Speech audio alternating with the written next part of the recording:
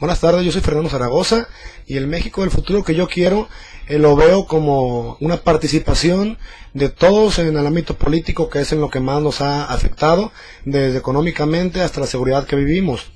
Eh, y esto es empezando desde la infancia, teniendo eh, educación y una instrucción desde los niños de cómo se tienen que hacer las cosas para que en el futuro ellos sean los que se encarguen de mejorar un México que ahorita está justamente siendo llamado tercermundista. Gracias.